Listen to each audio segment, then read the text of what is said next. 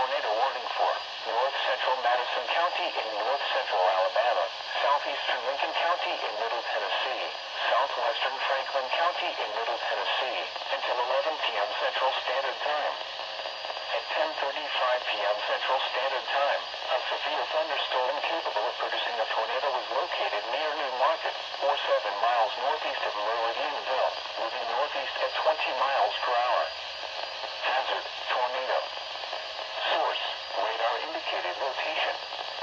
Impact, flying debris will be dangerous to those caught without shelter.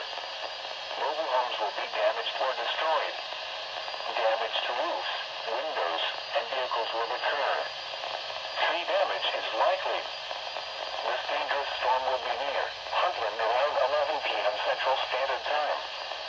Other locations impacted by this tornadic thunderstorm include Elora and Plevna.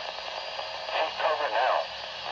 Move to a basement or an interior room on the lowest floor of a sturdy building.